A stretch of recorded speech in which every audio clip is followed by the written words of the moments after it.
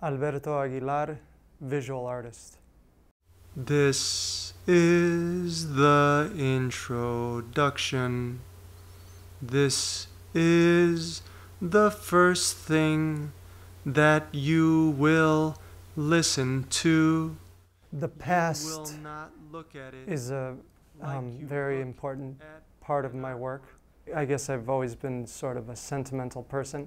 When I was in high school, I mean, I was a, I was a, I guess I was a tough guy, um, or that's the act I, I had to put out. But when I was at home, and I would look at pictures of my family, I, it would always move me to tears.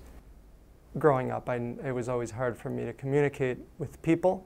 That aspect of myself always pushed me towards making the visual arts.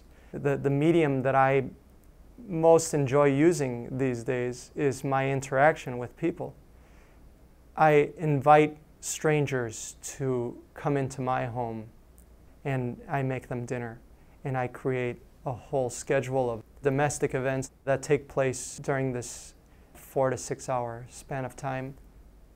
I, I don't think I realized this the first few times that I did the dinner, but the thing that I want the guests to leave with is a very strong, long lasting memory.